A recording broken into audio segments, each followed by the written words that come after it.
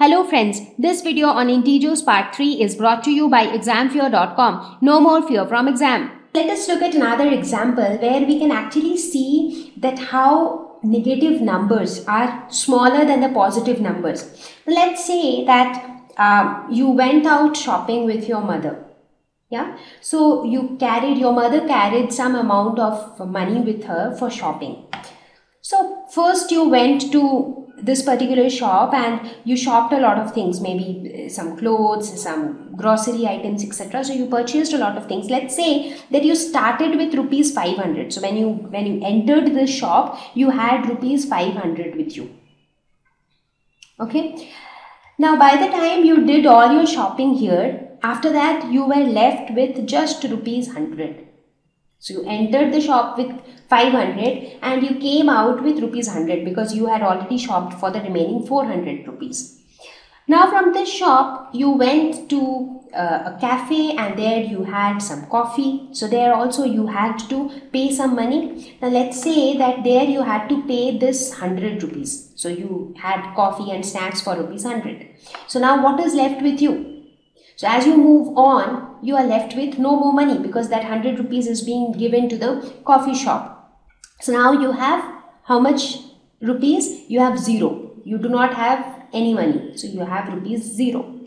So now let's say that you wanted to buy some vegetables because there are no vegetables at your house. So you went to the vegetable vendor but now you do not have money. So do you think that the vendor would give you vegetables for free? No, not really. But then you might have asked the vendor that, okay, you give me the vegetables and I will pay you tomorrow. So basically you borrowed from the vendor. So let's say you borrowed rupees 100 from the vendor that is you purchased vegetables worth rupees 100 and you said that you will return it back the day after so basically now your balance is rupees 100 now what is happening gradually? So as you see as you move from the shop to the cafe to the vegetable vendor your balance was gradually decreasing. So when you started from home it was 500 by the time you reached uh, the cafe shop it was 100 by the time you reached the vendor it was 0 and by the time you came out of the vendor it was minus 100 that means you had to return some 100 rupees to the vendor. So this shows that 500 was greater than 100 100 was greater than 0 0 was greater than minus 100 so basically we see that as the value decreases you move towards the negative numbers from positive numbers So with this idea in mind, let us now talk about the number line in detail. So when you say a number line, it is a line which represents all the integers at one place. So it is a very convenient way of representing integers. You get to know which integer is located where. So you have a 0 at the center, all the positive integers towards the right, all the negative integers towards the left. Now, as you move right, you move towards the larger numbers. That, that, that's what we said, right? As you move right, you move towards larger numbers. So, that actually means as you move left, you are going to move towards the smaller numbers. Now, that, that's quite obvious, right? So, just with this simple logic, you should be able to compare all type of integers. If you just remember this, that moving right means moving towards larger numbers. This will help you to distinguish between any two numbers, which is greater, which is smaller. You'll be able to do all of that. So let us now look at the same examples with this idea in mind. Whenever you look at a number line, just think 18 or 10, which is located towards the right.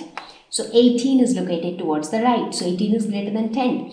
Similarly, minus 35 and plus 31. So definitely plus 31 is greater because all positive numbers are located towards the right. 103 and minus 108. Again, the positive number would be greater because they are located towards the right. So see, remembering that simple tip can help you to decide which is bigger so easily. So now that we have discussed all the comparison of integers, let's have a quick recap. So we have learned that 0 is greater than any negative number. So 0 will always, doesn't matter whether the negative number is minus 200 or minus 20,000, but any negative number will be smaller than 0. Okay. a positive integer is always greater than a negative integer because on a number line you would see that the positive integers are all located towards the right and the negative integers towards the left. So any positive integer would be greater than any negative integer. A positive integer is always greater than 0 because all the positive integers are towards the right of 0 so they are all greater than 0. For two negative integers, one with smaller value will overall be greater. For example, if you compare minus 40 and minus 10, which has a smaller value. That means if you only consider the value 40 and 10, which is smaller, 10 is smaller. But overall, when you consider with the sign, you would see that minus 10 is greater. So basically when you are comparing two negative integers, the one with a smaller value, the number with a smaller value will overall be a greater number. So in this case out of minus 40 and minus 10, 10 is a number with smaller value but overall minus 10 is greater. So the, if you remember these four rules, it's very simple to identify or to compare two integers. Thank you.